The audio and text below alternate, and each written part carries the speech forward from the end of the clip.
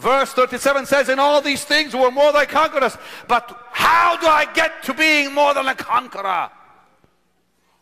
As it is written, For thy sake we are killed all the day long. We are accounted as sheep for the slaughter. Death is before life. Death is before victory. My brother, when you hang on that cross and stay on that cross, you'll defeat all the powers of hell.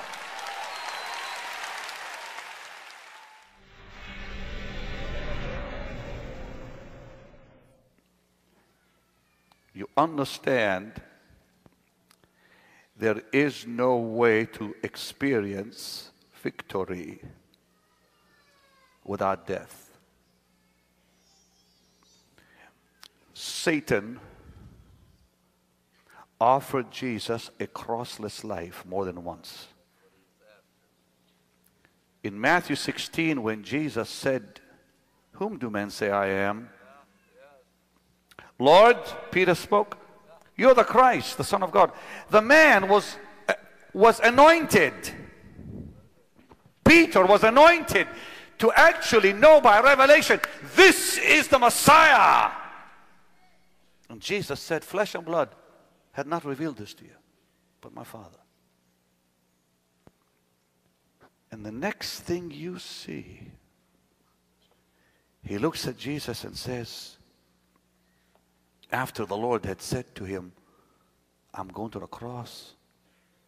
No, not you, Lord. You're not going. Get behind me, Satan, he said. You know what is so shocking? The enemy came first on the mount of the temptation and said to Jesus, I'll give you the, I'll give you the world. You don't need to go to the cross. Just worship me, I'll give it to you. You don't have to die. I'll give you the world and the glory of the nations. You don't have to receive a thing by going to the cross. All you got to do is just bow before me and I'll give it to you for free. And Jesus said, No. Get behind me, Satan. Then the devil said, Well, since he refused me, maybe I'll use Peter. I'll use his closest friend. So Peter says, Lord, no, no, not you. You're not going to the cross. Get behind me, Satan. He says that again. And while Jesus was on that cross, they said, If you're the Son of God, come off that cross. That's the third time the devil offers him a crossless life. Listen to me, my brother. Listen to me, my sister.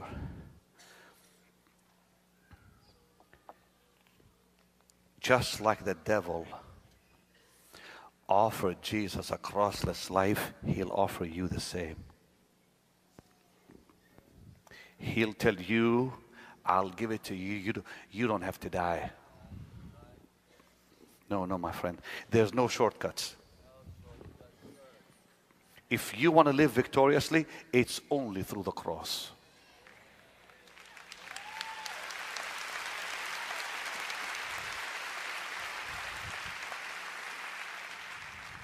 And the Bible tells us in Romans 6 6, we are to share in his death. In Galatians chapter 5, it also tells us the same. In Galatians 2:20 it tells us the same. I am crucified with Christ, it says. We are commanded to share in his death. When we decide to live this kind of life, the battle really begins. Psalm 118, 27 says, Bind the sacrifice with cords, even to the horn of the altar, which means sanctification is an ever increasing participation in the Lord's death. It's the only place Satan cannot touch you. The only place you're safe is on that cross. Listen to me. Jesus said, If any man will come after me, let him deny himself, take up his cross, and follow me. The devil offered him three times a crossless life, and Jesus said, No. No shortcuts. What the devil offered him, he'll offer you. My brother, my sister, there's two ways the devil's way or God's way. The devil's, the devil's way will bring complete destruction, God's way will bring victory. Choose the cross, choose God's way. Deny self, say no to the flesh, let the old man die and stay dead. We must participate in his death. Romans 6 6, Galatians 2.20, and other scriptures. And the Bible tells us something most remarkable. Listen to this. We all want uh, to be conquerors. We all want to have victorious lives. Listen to what the Bible has to say. Who shall separate us from the love of Christ? Shall tribulation or distress or persecution or famine or nakedness or peril or sword, as it is written, For thy sake we're killed all the day long, we're accounted as sheep for the slaughter. Nay, in all these things we are more than conquerors through him who loved us. I'm persuaded that neither death nor life nor angels nor principalities nor powers nor things present nor things to come nor height or depth or any other creature shall be able to separate us from the love of God which is in Christ. Wait a minute. Who shall separate us from the love of Christ? He asks, shall tribulation, distress, persecution, famine, nakedness, peril, sword? Now you think he'll jump right over to verse 37 and says, Nay, in all these things we're more than conquerors. No, he doesn't. Right between the question and the answer is the cross. Listen to what I'm telling you. He asks a question who shall separate us from the love of Christ? He asks. Shall tribulation? How about distress? How about persecution? How about famine? How about nakedness? Or peril or sword. Now, he could have jumped straight over to verse 37 and said, Nay, in all these things we're more than conquerors, but he doesn't. Why? Because Paul the Apostle, by the Spirit, knows the only way to conquer is through Calvary. That's why verse 36 is right in the middle. Verse 35 says, Who will separate us from the love of Christ? Distress, tribulation, nakedness, peril, sword. Verse 37 says, In all these things we're more than conquerors. But how do I get to being more than a conqueror? As it is written, For thy sake we are killed all the day long. We are accounted as sheep for the slaughter. Death is before life. Death is before victory. My brother, when you hang on that cross and stay on that cross, you'll defeat all the powers of hell.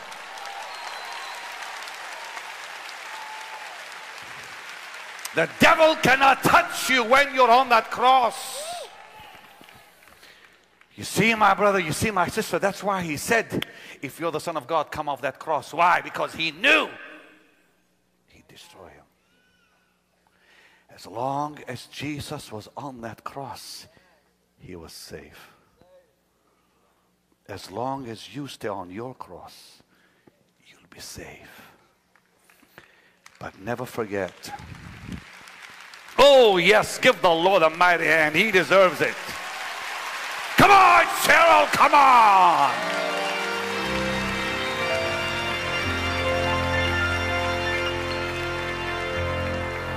The cross produces conquerors. How many here want to be conquerors over sin? Come on. Lift your hands way up high, way up high. He said, Sin shall not have dominion over you. But when did he say it? After he said what? You know, we all want sin to not have dominion over us. But before that happens, he said, Let not sin reign in your mortal body. Don't obey it.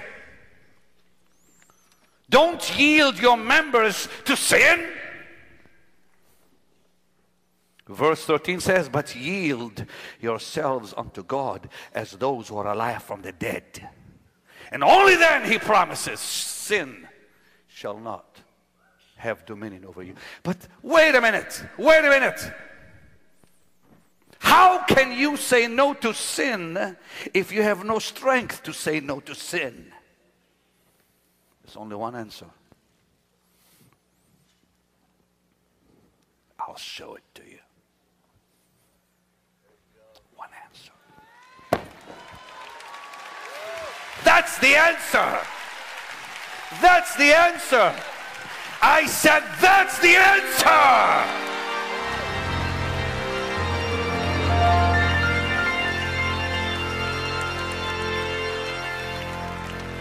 You remember the old song? What a friend we have in Jesus. Come on. Oh, a sin and griefs to bear. Just softly, just softly, just softly now. Oh, a privilege to carry just softly to God.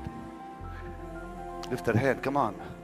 Oh, what peace we often forfeit.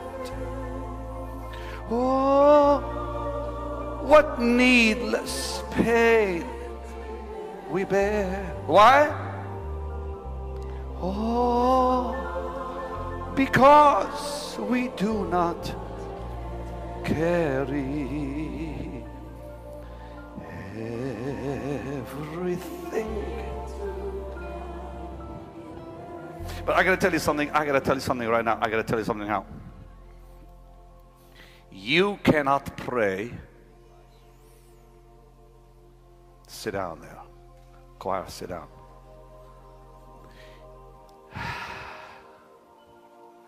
You cannot pray if the flesh is alive. You cannot pray if your flesh is not dead. Can I say it like this? Only the dead know how to pray.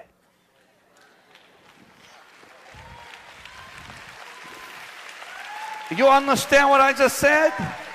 If you do, put your hands way up high. Yeah, because the living don't know how to pray. So what, what, what do you mean? I mean when the flesh is alive, the flesh does not know how to pray. The flesh only utters words. And when the flesh dies, the spirit comes alive. Then you really pray. So, so, so, how, how do we kill the flesh? How does the flesh die? I'll tell you how. They that wait upon the Lord shall renew their strength. They shall mount up with wings as eagles. They shall run and not be weary. They shall walk and never faint. So, what is it? It's waiting upon the Lord. Waiting kills the flesh. Do you know why? Oh Lord. Oh Lord, where are you? Oh Lord. Five hours. Five hours last week. How would you like to pray for five hours? Weeping and tearing your heart apart. Five hours, Ron. He didn't show up. But here's what happened. I didn't realize it because I preached it many times. The longer you stay, the closer you get to Him. You just don't know it. You just don't know it. Do you know when my soul absolutely felt liberty? Five hours later. What if I didn't pray five hours? You know, the hardest thing to do is wait. I wasn't praying, I was waiting. And you know what I said to him? I said, You said, if we wait, our strength will return. I am not going till my strength comes back. That's what I said to him. I was willing I was willing to stay 10 hours, 20 hours. I thought, dear God, if prayer can bring Peter out of prison, it can bring me out of prison.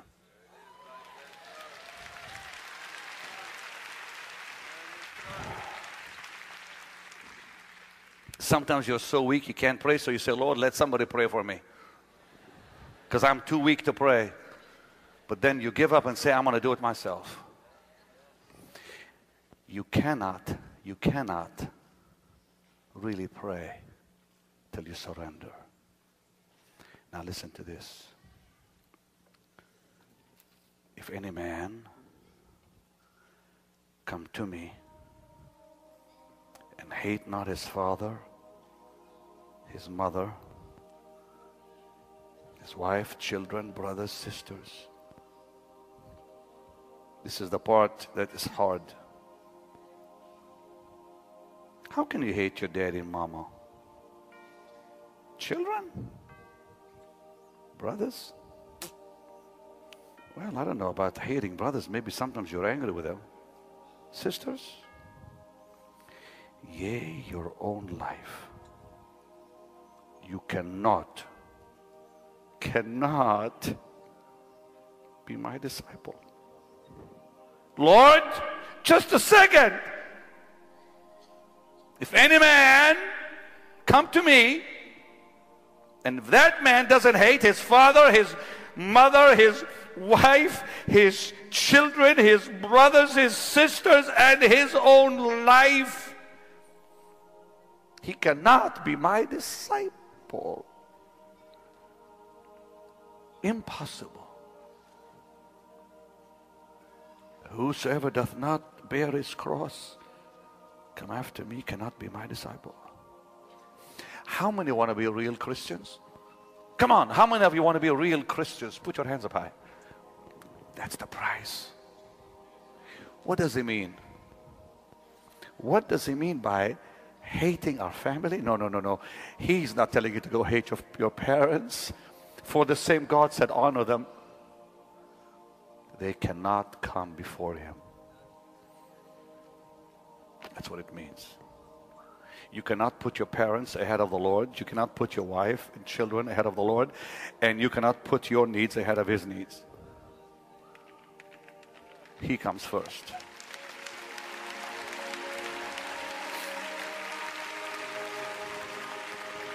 Will you make that decision tonight?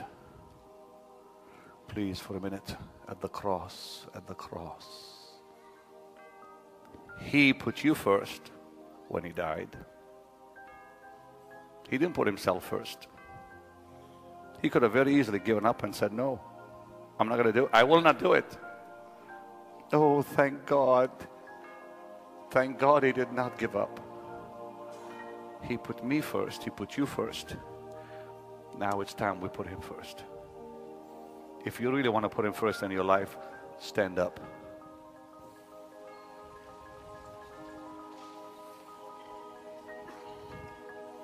Bring the candles, please. The Let's get ready for communion.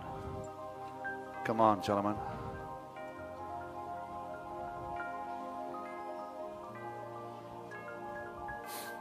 Please come. Benny Hinn voices, come right here.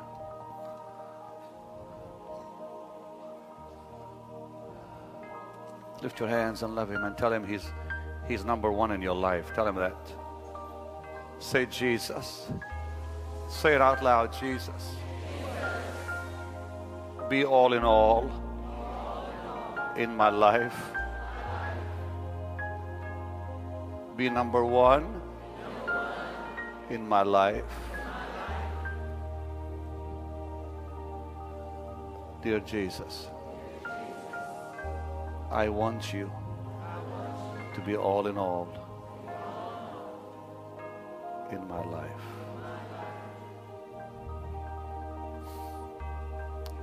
Minister, will you please minister to us?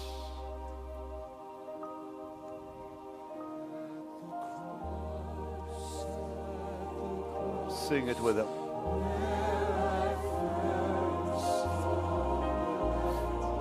And the burdens of my heart rolled away. It was there my faith. It was there I received my sight. And now I am happy. Oh. Lift your hands, sing it, lift your voices. At the cross, at the cross, where I first saw the light, and the burdens